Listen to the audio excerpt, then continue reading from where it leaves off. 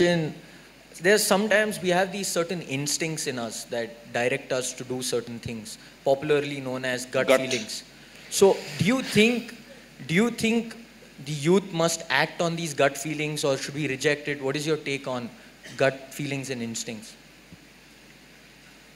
There is something called as gut feeling and there is also something called as being shit scared, you know. So when people don't know which way to go, some things move in their gut.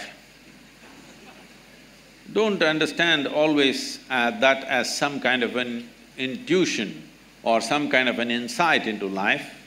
Most people feel their guts only when uh, you say he has guts means what? His guts didn't move. So, fear is considered gut feeling by a whole lot of people, don't go by that. But there is a certain… in the yogic culture, today modern science is also recognizing this, in the yogic culture, we identify a certain dimension of intelligence in the stomach. A certain dimension of intelligence means, if we have to… this is what I'm going to say is very simplistic. If you find loopholes, you ask question, otherwise I will pass, okay? if you ask questions, I will cover those loopholes, but because I'm saying it in such a brief manner, there will be loopholes. See, you eat a piece of bread, within a few hours, it gets transformed into a human being, isn't it so? Is it a tremendous amount of intelligence? Hello? If I can take a piece of bread in my hand and make this into a human being, who do you think I am? Hello? Creator himself, isn't it? Must be God. If I can take a piece of bread and make it into a human being, this is it. This you're doing in your stomach.